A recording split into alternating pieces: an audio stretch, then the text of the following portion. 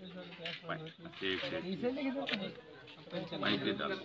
अच्छा ये बताओ, कोई मोबाइल नंबर याद है? अपना घर का। हमारा मगर हम कैसे निकाला जाए। अपना नंबर लीजिए लगाओ जाओ नंबर।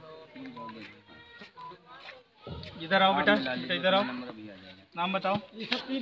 नाम बताओ। हो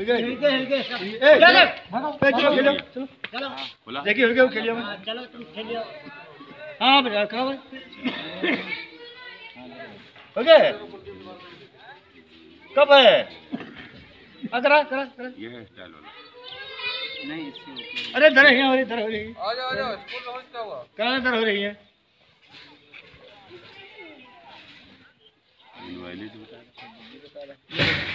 बताओ डॉक्टर साहब क्यों बैठे हैं? यहाँ भैया कोरोना की जाँच करने के लिए आया कहाँ से आए हैं आप? डिस्ट्रिक्ट उन्नाव से। क्या नाम है आपका? फारूक अहमद। पिताजी का? अब्दुल रब। आपके जो बगल में बैठे जी क्या है? एक्सी टेक्नीशियन है। कहाँ से आए भाई साहब आप? लखनऊ से आए क्या नाम है आपका? एक्सी टेक्नीशियन है।